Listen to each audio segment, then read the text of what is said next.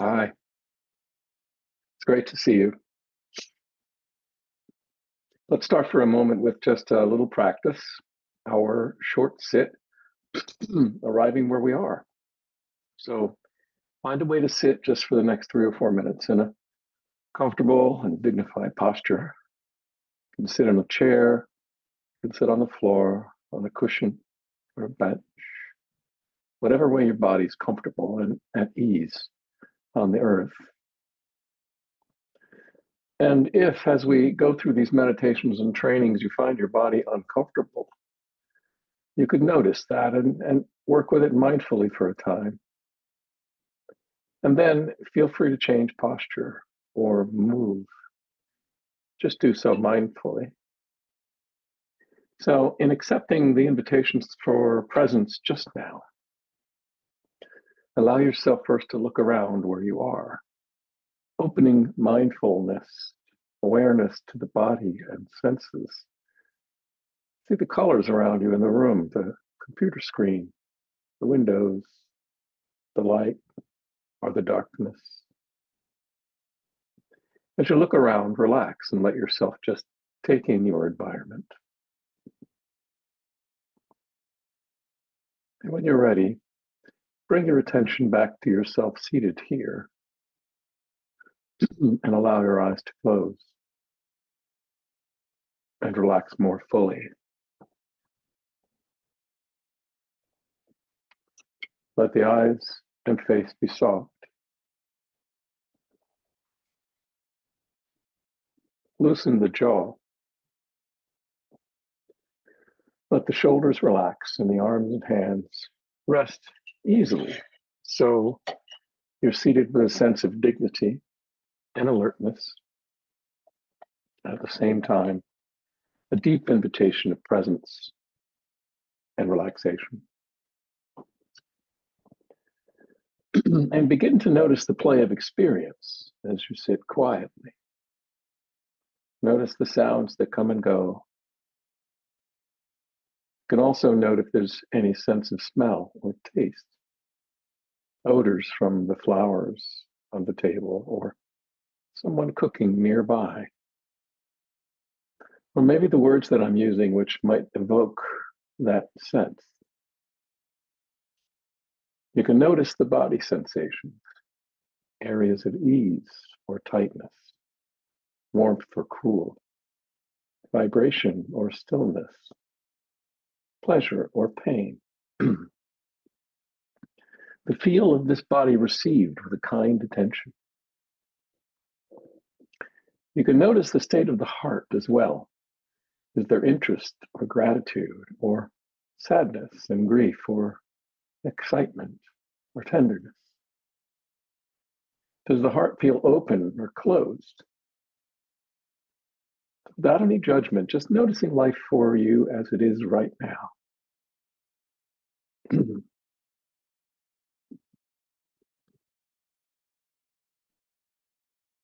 Let's return to the state check-in practice we started in our first meeting, this time without noting place. So I'm not here to listen for you, but I am Michael. There is tiredness, anticipation, and affection.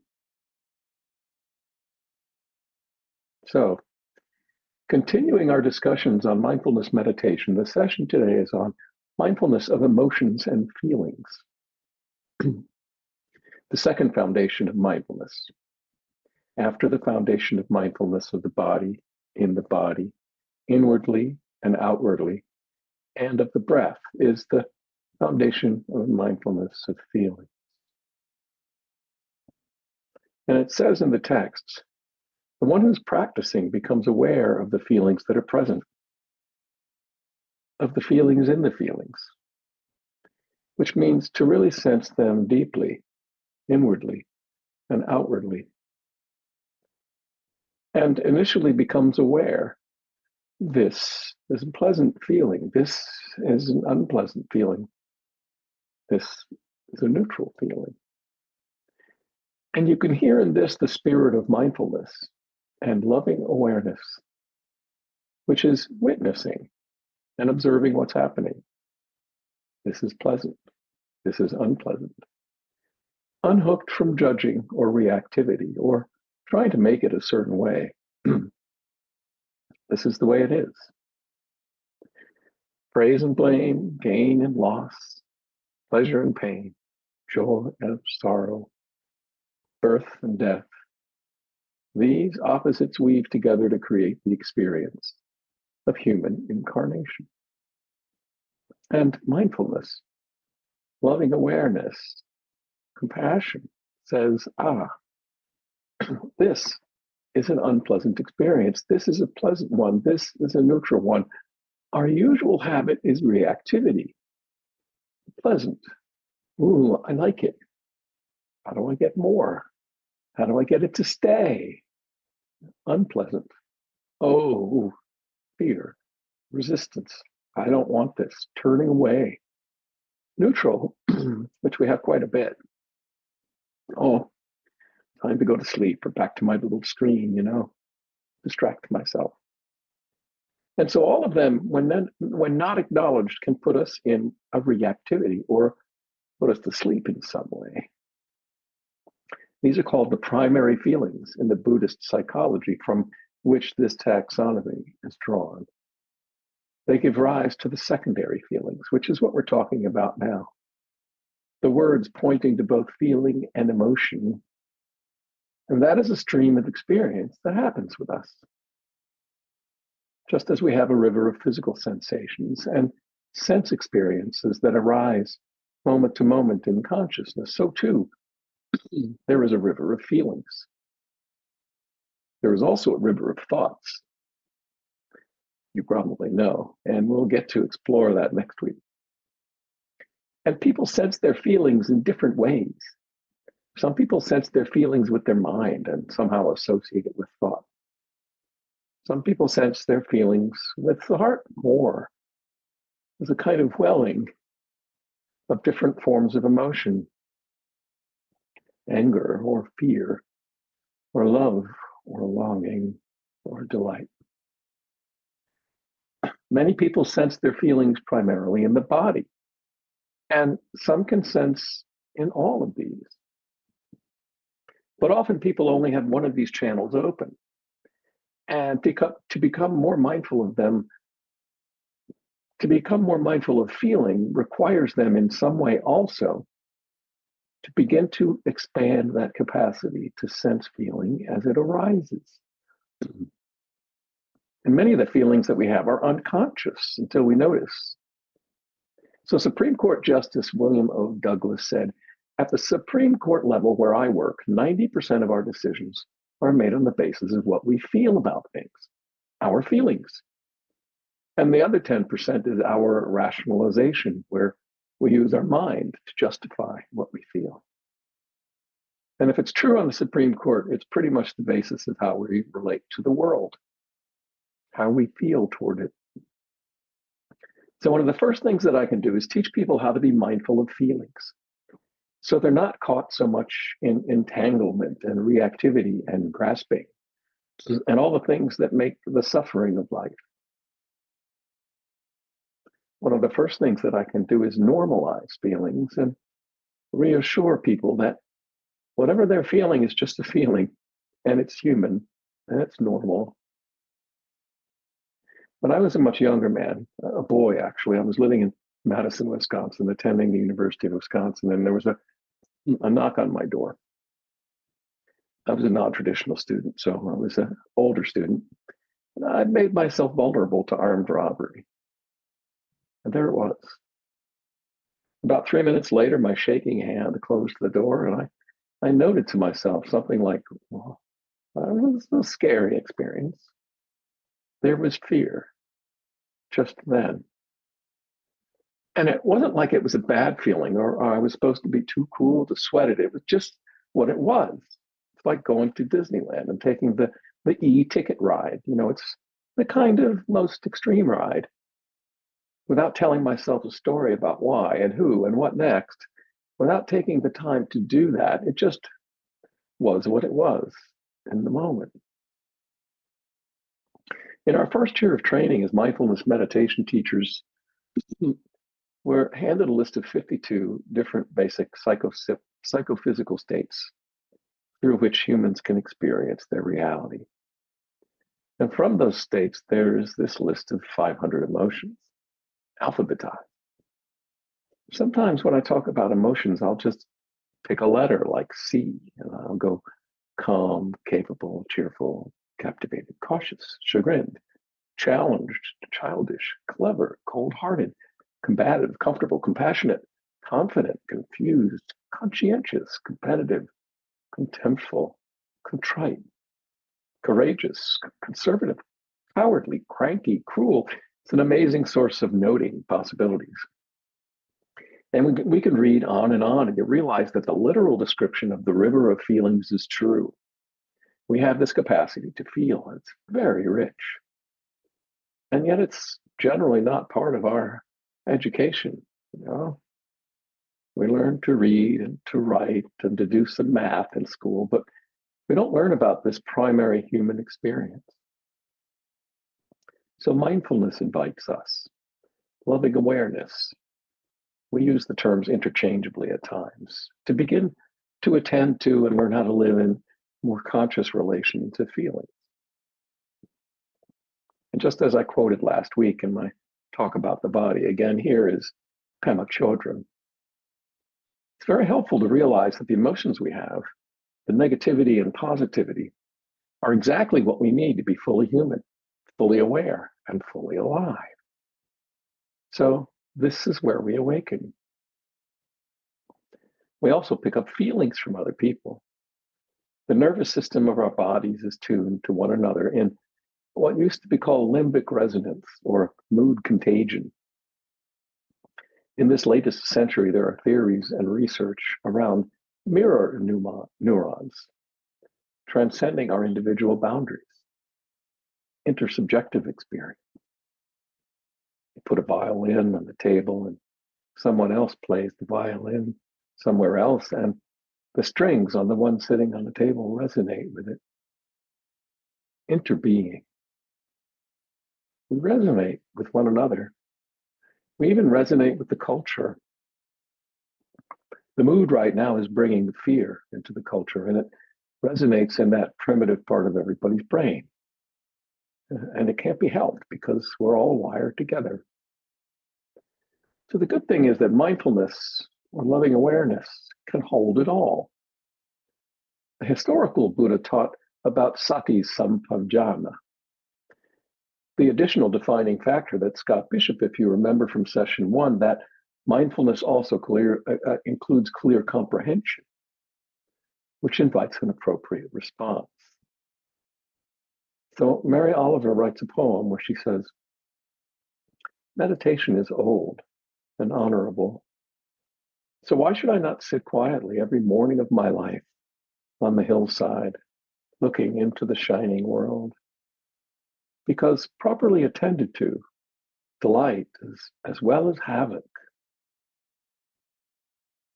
is only a suggestion, only a beginning. And she goes on, can, can one be passionate about the just, the sublime, the holy, and yet commit no labor to its cause? I don't think so. You must act, be ignited, or gone. And so there is an invitation both to feel inwardly and outwardly, to sense with mindfulness, and also to allow that feeling to inspire or inform a wise action, a wise response. That's another part of mindfulness. The first step in guiding people to understand feelings is simply teaching them to know what they feel, helping, inviting them to actually experience what they feel. When we notice feelings, pleasant or not or neutral, rising into consciousness, we get to take the moment to sit with it and see what we're believing or what stories the feeling is arising from. Opening to fully feeling allows us to know the mental discourse that accompanies the feeling. My partner and I are speaking more and more about her work as a massage therapist therapeutic massage and how she works with other people's damaged bodies. Well, over the years, hers is becoming unwell as a result. So I notice I have this gnawing ache in my heart, and a, a ruminating sense of nausea and uh, impending something, you know. It bothers me that she suffers and that I have to hear about it. So recently it rose up and then again and again, and I I thought to sit with it with some curiosity. But I began to lean into my inner experience in, in all that was tumultuously going on in there. There was greater honesty and clarity because I took time to begin to pay attention and listen and name it. Remembering to trust that awareness could tune in to my feelings. Fear fear about her and our future. So as I opened up to it, my sense of suffering also increased, widening my partner's difficulties, the sufferings of other people, the pain of her hard labor, and that of people like her, and suffering of those whose bodies they work with. The other illness and uncertainty in the world became visible and then I began to experience a welling up, not, not just of fear, but of compassion. And a kind of relief broke through me with that compassion. And now, as I think about her during the day, there's a, a greater sense of care and trust that grows uh, from a, a more gracious heart. And I think I become a more loving person because I know what I'm feeling and I and then I get to be more direct with her. I'm less afraid. And with that, I realize that I can begin to tolerate the experiences that are there within me. So it's a description of somebody's process of learning to feel what, what they feel and the kind of questions when someone doesn't have much connection with feeling are, well, where do I feel that in my body? Close your eyes for a moment. What do you notice in your body? Or do you feel a little numb? Where do you feel that in your body? And as you start to feel that, what images come? What stories come? And the images and stories sometimes invite the feeling to come more fully. It's okay become present for the feelings, and then begin to notice and sense what's around it. And there's something true about that because what's beautiful, if you took if you look into the tradition of Buddhist psychology and other frameworks, is that the kinds of feelings that we deal with are spelled out in articulate and beautiful ways. And one of the most common lists, one of the many in Buddhist psychology is the list of hindrances that arise. And they're called hindrances only because they're hindrances to clarity. There's not something you have to do about them. You just have to notice oh, caught, trapped in that hindrance. And so there is the hindrance of the grasping, wanting mind. In India, they say that when a pickpocket meets a saint, he only looks to see what's in his pockets. He can't see the saintliness because that desire blinds him. And you go into some room and, and you look at, you know, who's who's somebody I want to be with? Who do I not want to be with? And who don't I care about or something? There's there's this scanning that desire makes where we get attached to our perception locked in. And so we can't see clearly. Well, the second hindrance that comes, you're, you're, you're sitting there trying to meditate. The first one is desire, or, you know, I want this and that. I want this state.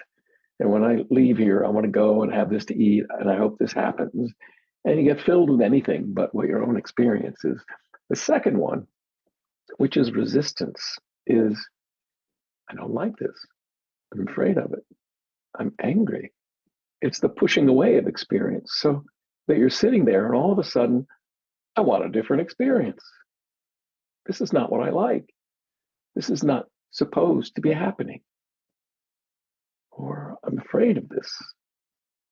And so again, there's a reactivity. and, and you sit with being caught in anger or judgment or fear, just as I was and am when I'm afraid about our future. There's this pushing away, an aversion that mindfulness gets to notice. Or you can sit and be caught in restlessness. And it comes, you know, and you you get really restless. And what do you do when you're restless? You start to become mindful. This is desire. This is grasping. This is anger. Oh, this is restlessness. Restlessness feels like this. And you let the loving awareness become big enough to tolerate it, to allow it, to hold it, to name it gently. Restless, restless. Oh, I hate this. Hating, hating. I want it to go away, wanting, wanting. Oh my gosh, I'm really learning to do this, you know? Pride, pride. And you know, you start to track the feelings that are present as they are without trying to change them. Or sleepiness. As we've talked about before, it gets normalized.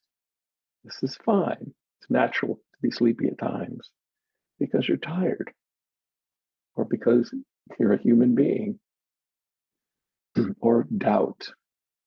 I can't do this. It's too hard. the wrong day. It's the wrong practice. I'm not worthy enough to awaken, or whatever you think about yourself.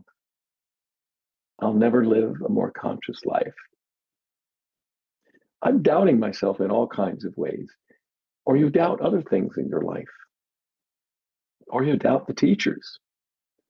I mean, who are these people anyway? You know? And then with these feelings and other difficult emotions, fear, shame, sorrow, longing, guilt, anxiety, they mm-hmm. all come up. Attachment in the strong form of addiction will come up as you're sitting, doesn't it? Or jealousy will come. Ooh, there's an interesting emotion. And the whole construct of ideas, you know, but underneath is this feeling of jealousy and not being enough and wanting something else, or the feelings of, of being hurt. and we've all been hurt, wounded, and profoundly hurt, or the feelings of anger or even rage. And, and what do you do with them? This again is a Zen teacher, Karlfried Dürckheim. He says, the person who is really on the path, on the way, on the path, falls upon hard times, will not, as a consequence, turn to those friends who offer them refuge and comfort and encourage their old self to survive. Rather, they will seek out those who will faithfully and inexorably help them to risk themselves so that they may endure the difficulty and pass courageously through it. Only to the extent that a person exposes themselves over and over again to difficulty and even annihilation, he says, and this has to be the right context, by the way, can that which is indestructible be found within them? And this daring, in this daring lies dignity and the spirit of true awakening. Wow. So there's something truly liberating about being able to stay in the presence of strong emotions with loving awareness and say, yes, this too is part of being human. But it's not just those painful and difficult ones, you know, because as you know, many of us can be loyal to our suffering. and then the positive emotions are difficult. When we start to feel joy, is that okay? When we start to feel rapture, or we start to feel love, or delight, or ease, or bliss,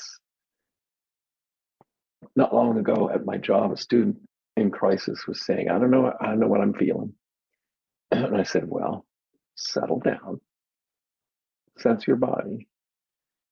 He said, I, I live such a busy life and I'm always trying to do things. Settle down, feel what it is right now. He said, Well, I'm happy to be here right now in this boring, nothing happening moment. I said, Okay, just tune in. What are you sensing?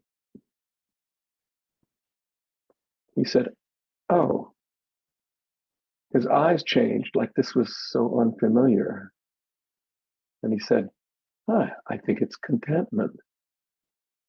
And he'd never had a moment of contentment in a conscious way, probably in months at least.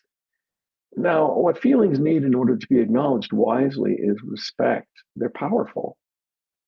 You might remember the story of that small group of American soldiers in Iraq who were surrounded by people during the war, shouting and so forth. And the officer, at some point, the platoon leader, instinctively knowing this could get out of hand, instead he said, Take a knee. And they all turned their rifles to the ground and kneel down on one knee. Uh, this was in front of a great mosque in the in the holy city of Najaf. And when they did that, everyone around them became quiet. And these people were so angry at them, and then they withdrew without anyone being hurt.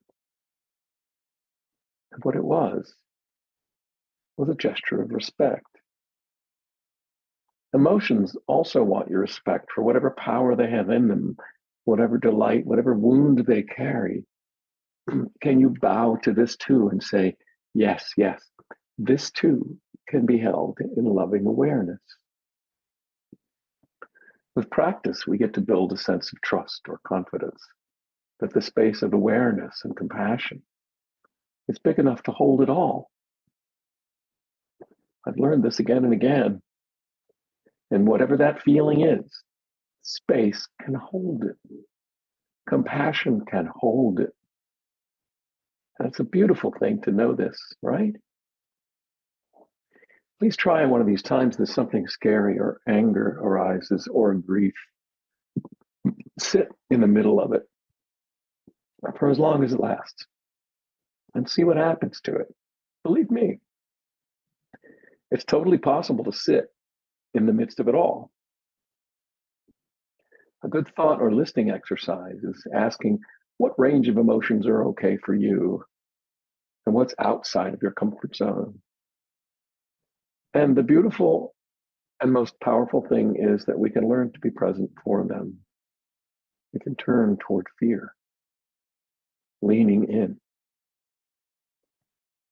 So go to the places that scare you. And when you're ready, not, not right away, and take your seat in the middle and bid them be present. And learn that you can do this too as a human being. Or as Hafiz says, with loneliness. Don't surrender your loneliness so quickly. Let it cut more deeply. Let it season you as few ingredients can. Or the broken heart, where Oscar Wilde writes so simply hearts are meant to be broken. so you allow yourself to be present with the sorrow, the fear, or whatever, and then here's what helps you find it in your body. You're invited to say, Where do I sense this in my body? Can I hold this feeling? whatever it is that's difficult, especially with compassion. Or if it's a beautiful feeling, can you hold this with joy? Where's the center of this feeling? Some, sometimes that's helpful to go right to the center. What happens if you let this feeling open and expand? So there I am sitting with anger teacher says, All right, you're going to be angry, let it happen. And then it turns into rage and all these other emotions without judging it. This from Elizabeth Taylor. The problem with people who have no vices is that generally you can be sure they're going to have some pretty annoying virtues. So we have these ideas about how we're supposed to be the perfectionist ideas. I shouldn't feel this and do that. I shouldn't be angry. I shouldn't feel fear and so on. And the, the repression of that actually knots us up and keeps us from being fully alive. And the beautiful thing is that very directly with our mindfulness teachings, we expand what neuroscience calls our window of tolerance. You expand the heart to be able to be present for it all. So, the point in all this is not to get rid of feelings or to have some notion of the right feelings, because grief needs to be felt. And the outrage sometimes, that injustice is what needs to be felt. It actually inspires us in some powerful way. But it's not the end of the story. Feelings, that's the beautiful thing. No feeling is final. They're leading us to some greater understanding. This from Molly Ivins, who is the great New York Times columnist, humorist, and Texas fire, firecracker. As a voice for justice, she says, So keep fighting for freedom and justice, beloveds, but don't forget to have fun doing it. Be outrageous.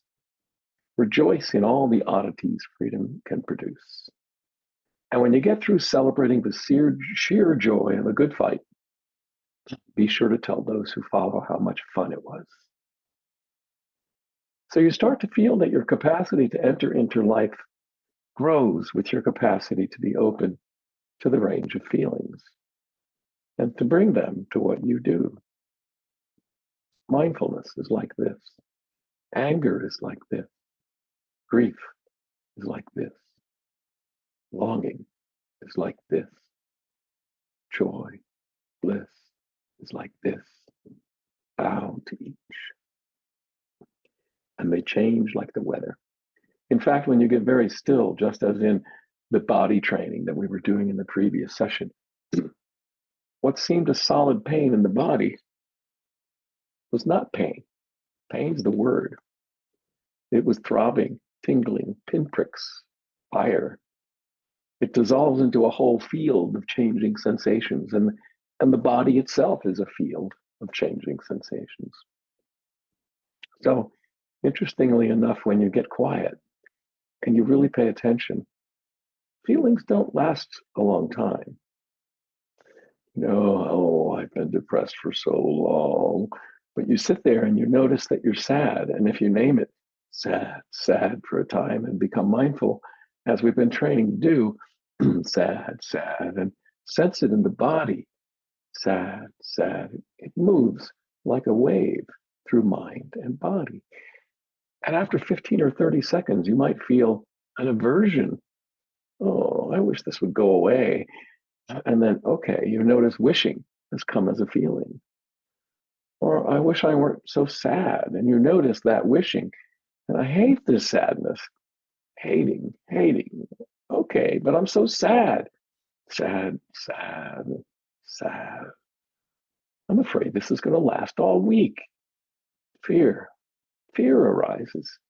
Fear, fear. And I can be with it. Okay. Confidence arises. Sad, sad again. And again, I'm not doing bad. Pride, pride, whatever. And you start to realize as you track them that these emotions are alive and ever changing in the body, in the mind, and in the heart. That our window of tolerance expands. And we get this increasing confidence that we can be with what's here. And that's contagious itself. So often people ask me what, what's changed over the years. You know, I've been doing all this practice since I was a kid. So what's different? I sometimes think of it that there's just less lag time between being caught. There's an emotion there, and in some way, pushing away or avoiding. And, oh, okay, it's this again. And a question that served me a lot. There's a story of a well known sage who says that the one thing we're going to ask ourselves that can really open it up is what are you unwilling to feel?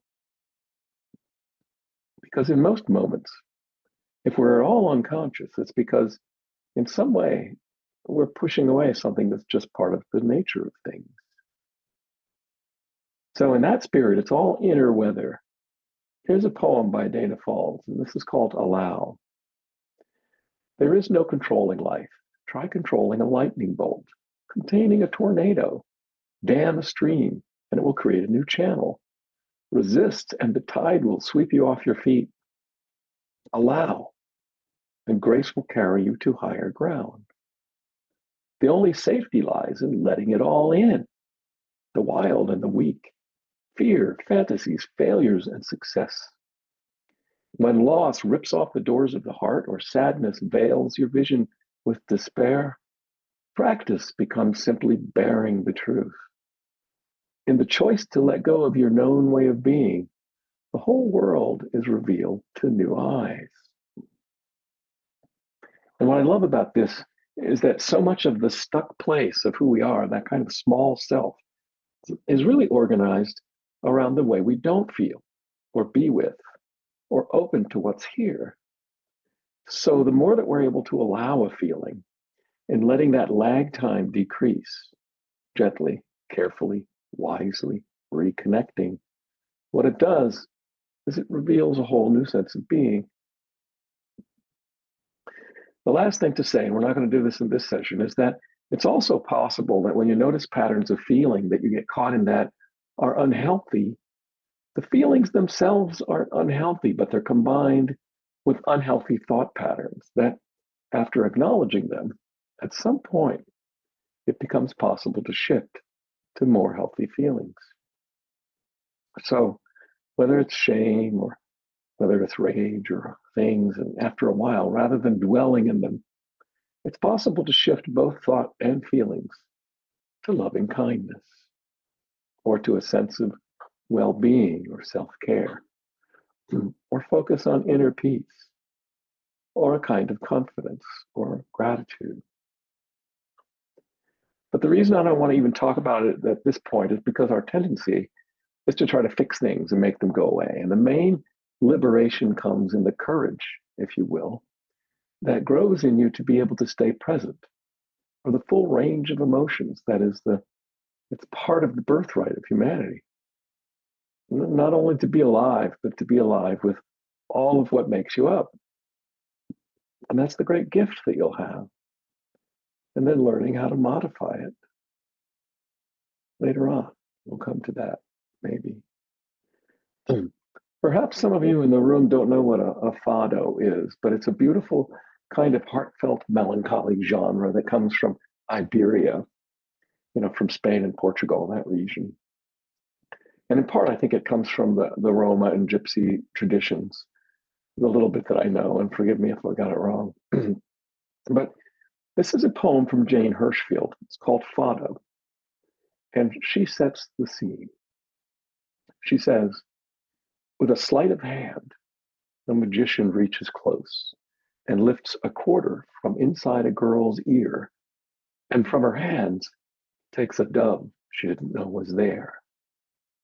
Which amazes more, you may wonder? the quarter's murmur against the thumb, or the dove's seduced silence? That they magically appeared, or that in Portugal, the same half stopped moment it's almost dawn, and a woman in a wheelchair is singing a fado that puts every life in the room on one pan of a scale and itself in the other, and the copper bowls balance.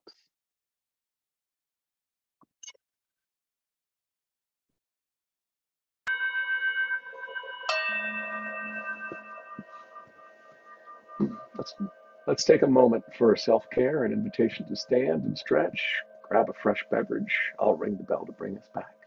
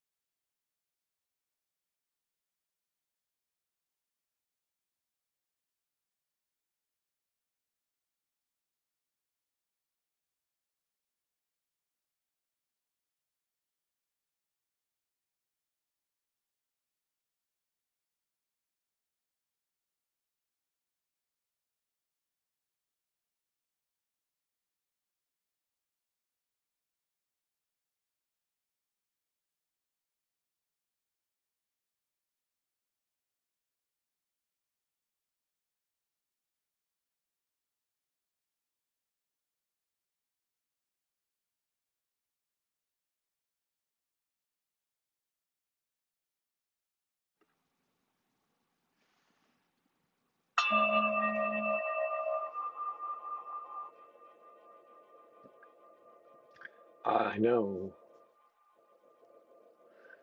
I know that was a short five minutes, but we're going to run over. So kindly make your way to your most comfortable seating place. this evening, we're going to practice a mindfulness of emotions meditation. Most of it, the core practice that you should all have in heart by the end of this course, the grounding, the establishing mindfulness part will sound familiar. I'll ring a bell to begin guiding the meditation and invite you to open your eyes to close the meditation. The practice will take about 12 minutes.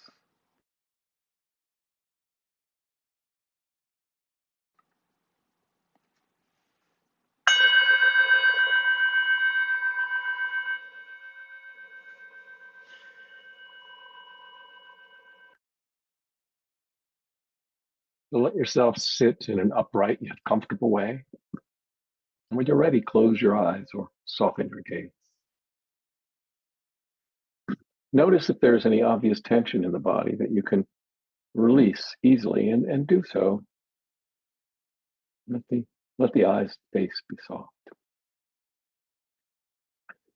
Relax the shoulders and let the arms and hands rest easily. Let the belly be soft and the the breath natural. Now let the heart be soft as well to receive whatever arises with kindness and compassion.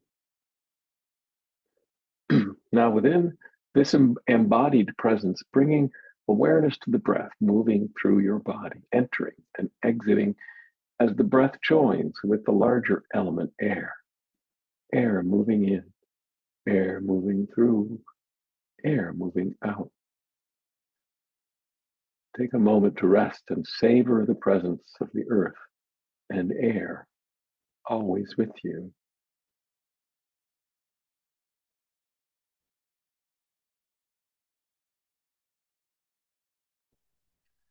Feel each breath, and as you allow it, invite a sense of calm and ease to grow.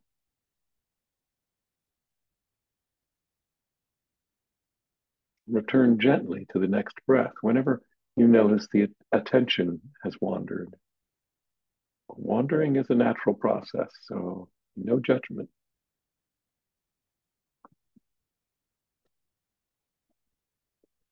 Let all other experiences, sounds, sensations, thoughts, and images rise and fall like waves of the ocean around the breath. After a time, become Become mindful of any emotions that call your attention. You can bring the same mindful, loving awareness to them as you have to the breath. So when an emotion arises, letting go of attention to the breath and receive the emotion kindly. It can be helpful to name it slowly, as we've done. Sad, sad, or joy, joy, or bored, or anxious, anxious, or excited, excited. And as you attend to the emotion, notice carefully where you feel in your body. And notice how it feels as a constellation of sensations. How does it respond to kind awareness? Does it dissolve and get stronger? Does it change into another emotion? And notice this too.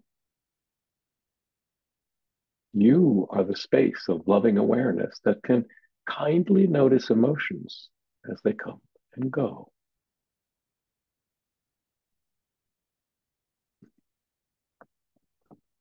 If you feel resistance to contacting the emotion or it feels very strong, notice the story that the mind tells along with the feelings in your body and acknowledge it kindly then let this be in the background and again bring a gentle presence to the emotion. When the emotion is changed or dissolved, return back to the awareness of breath for a time.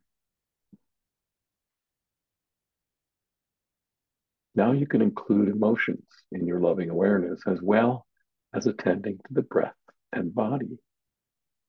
They come and go, and You are becoming the calm, steady witness, acknowledging them without getting caught by each one. Remaining in mindful, loving awareness, you become gradually more open, balanced, and free.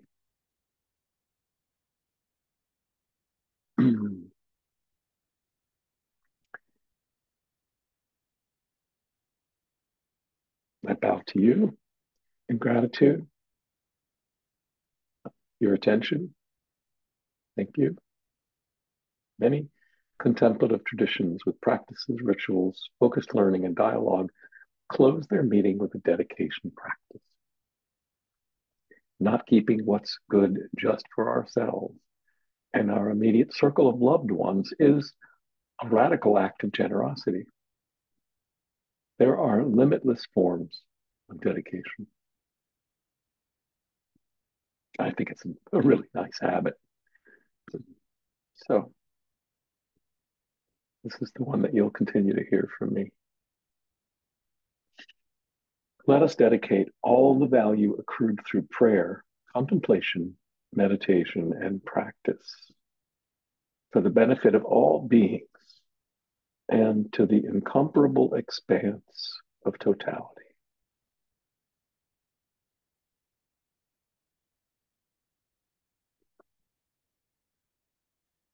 See you again soon. Go with love and well being. May you be at ease. See you soon.